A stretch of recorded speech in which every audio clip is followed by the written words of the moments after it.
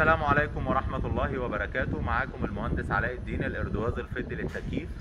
الفيديو التوضيحي لتوريد وتركيب أنظمة التكييف الكونسيلد المخفي بمشروع فيلا مدينة جيزان. السعة التبريدية للمشروع 50 طن تبريد متوزعين في فيلا.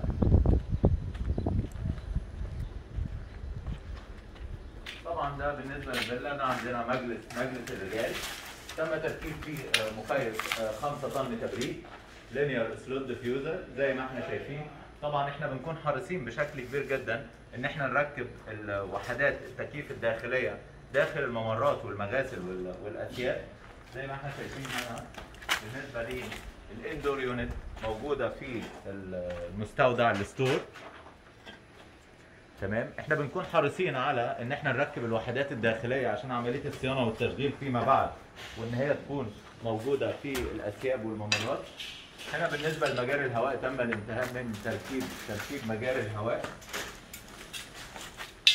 طبعا نقطة فنية مهمة جدا. في حالة مرور مجاري الهواء من الجدار دايما بنسيب مسافة نفس مسافة الضغط تقريبا عشان الريتيرن يعود للماكينة مرة أخرى. وبالنسبة لل plenum box زي ما إحنا شايفين يتم عزله من الداخل والخارج لأن الرطوبة هنا عالية في جيزان بتصل تقريبا إلى 90 أو 95% وبالتالي بنعالج عملية التكثيف اللي بيكون موجود على الجريلات بشكل كبير إن إحنا بنعزل ال plenum box من الداخل ومن الخارج. ونقطة كمان مهمة جدا في عملية آه، المحافظة إن ما يكونش فيه تكثيف تماما. زي ما إحنا شايف- شايفين ده المواسير النحاسية ممدده داخل لاي flexible جرجوري ده بيحافظ على العمر الافتراضي للمواسير النحاسية بالإضافة إنه أي مواسير يتم اختراق طبعا الوحدات الخارجية هتركب back side of building في الجزء الخلفي من ال- ال- المبنى.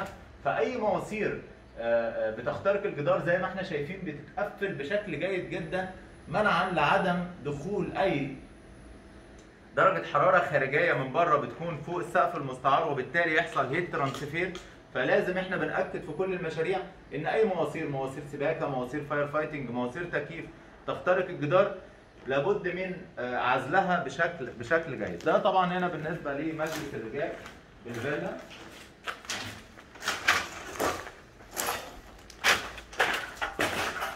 هنا برضو كذلك بالنسبة لمجلس مجلس النساء. طبعا النظام عندنا هنا linear slot diffuser نفس الفكرة بالظبط. الوحدة الداخلية مكيف. 4 طن تبريد. الوحدة الداخلية موجودة في المغاسل آه، بال- بال- بالخلف وبنسيب مسافة آه، لدخول الهواء مرة مرة أخرى. وبالنسبة لل plenum box بيتم عزله آه، برضو من الداخل ومن الخارج بشكل عام لكامل الفيلا. طبعا هنا نظام linear linear slot diffuser طبعا عندنا هنا supply supply. هيركب بعد كده في السقف المستعار. return return فبتدي منظر جمالي بشكل بشكل جيد جدا.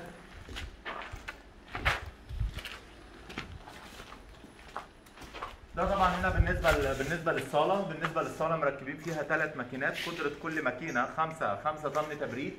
آه، متوزعة بنفس الآلية. طبعا هنا بالنسبة للماكينة الأولى. الماكينه الأولى تم الانتهاء من عمل ال termination الخاص بالوحدة الداخلية. وزي ما إحنا شايفين في الصورة بيتم عمل الترمينيشن الخاص بالدريم بايب للووتر بامب والجرافتي وبيتم عمل ال P-trap ومن ثم عملية ال- ال ventilation التهوية. ويتم عزل مواسير الصرف وده مهم جدا في عزل مواسير الصرف تحديدا. في المنطقة الجنوبية هنا في جيزان لأنه الرطوبة هنا بتوصل زي ما قلنا في بداية الفيديو ل 90% لابد من عزل مواسير ال drain pipe لعدم وجود أي تكثيف بشكل بشكل كبير جدا. طبعا هنا الماكينة رقم اثنين جاري الآن yes how are you حسن. how are you everything is okay okay very good طبعا دي الماكينة الثانية جاري دلوقتي آه، برضو عمل ال machine ال machine connection الخاص الخاص بيها.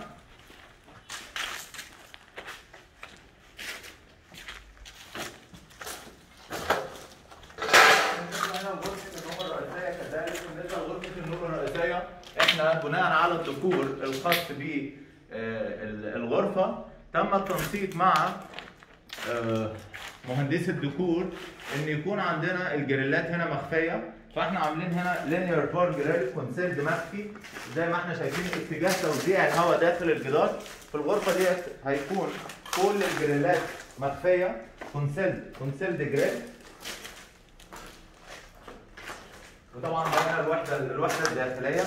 بيتم تخطيطها بشكل جيد لحين بدء تركيب ال- الجبسن بورد. دي النقطة اللي أنا بتكلم عليها ويمكن هيتم تقفيلها بشكل جيد جدا قبل البدء آه، بالسقف المستعار. زي ما إحنا شايفين هنا موجود السليف اللي خارج منه المواسير النحاسية. لابد من تغطية هذه الفتحة بمادة الفوم لكي نحافظ إنه ما يكونش فيه heat transfer بشكل بشكل كبير جدا. وطبعا بالنسبة للغرف بالنسبة للغرف الأخرى آه، نفس النظام. ده عندنا بالنسبة للمكيف هنا. مكيف split طبعا تم تأسيس المواسير النحاسية داخل لاي flexible تم تركيب ال box الخاص بالتوزيع. عندنا ماسورة ال drain pipe. بالنسبة لماسورة ال drain pipe طبعا بيتم عملها عن طريق ال- السباك ويتم التأكيد عليه أي مواسير بالأرض لابد من وضع عليها الخلطة الأسمنتية لكي يحافظ على العمر الافتراضي. للمواسير النحاسيه وعدم تعرضها للمواسير الصرف وعدم تعرضها للكسر من أي أعمال أخرى. وطبعا عندنا نقطة الكهرباء والمواسير النحاسية لتركيب المكيف ال split فيما بعد.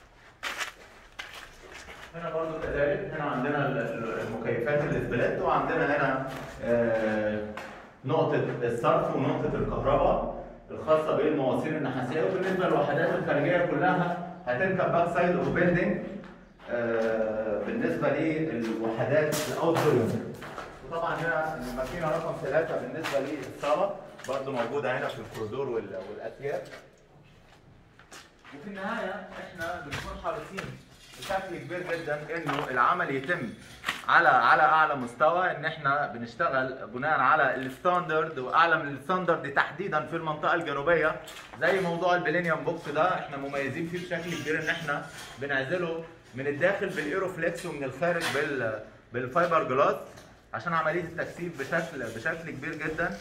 وفي النهاية إحنا بنكون الأعمال كلها منسقة بالتنسيق مع المكتب الاستشاري والمالك بناء على ال- المخطط الذكوري. آه، وفي النهاية إحنا بنكون مع العميل في خدمة ما قبل البيع بالالتزام بالمواصفات وخدمة ما بعد البيع إنه في النهاية بنكون مع العميل في حالة وجود أي طلب أثناء فترة الضمان أو حتى ضمان الوكيل بنكون متابعين فيه بشكل كبير جدا. ان إحنا بن بن بنفعل العميل سنة لأعمال التركيبات وسنتين. شامل قطع الغيار وخمس سنوات على ال compressor اللي هو ضمان الوكيل وبنتابع مع العميل بشكل كبير جدا في عملية ال- الضمان وإن شاء الله لا نحتاج للضمان ولكن إذا احتاجنا في أي أعمال بنكون support بشكل كبير جدا للعميل. وده كان فيديو توضيحي يوضح توريد وتركيب أنظمة التكييف ال concealed المخفي بمشروع فيلا مدينة جيزان والسلام عليكم ورحمة الله وبركاته. تحياتي المهندس علاء الدين الاردواز الفدي للتكييف.